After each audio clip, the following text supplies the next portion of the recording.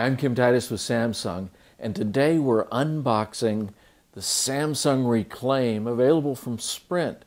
And in this unboxing video, the box itself is as much a star as the phone. Let's take a look. The first thing you're going to notice about the box is the size. It's smaller than our usual packaging. In fact, it's about the size of a trade paperback book.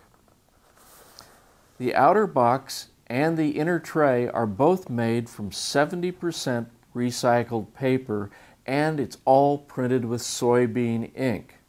The next thing you're going to notice is that there's no user's manual. The user's manual is available at sprint.com.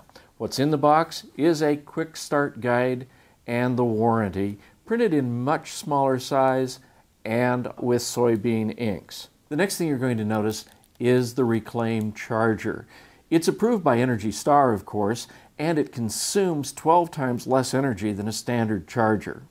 But this one also includes a visual alarm so that it lets you know when the phone is fully charged.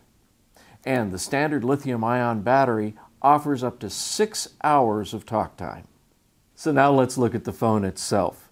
The Reclaim hardware, the battery cover, and the rear side is made from bioplastic that's extracted from corn, making 80% of Reclaim recyclable. The one-click menu gives you access to social networking sites and to eco-friendly websites. The Reclaim comes with a 512 megabyte micro SD card, but it can support up to 32 gig of external memory. Well, that's the Samsung Reclaim. Thanks for taking a look at it with me.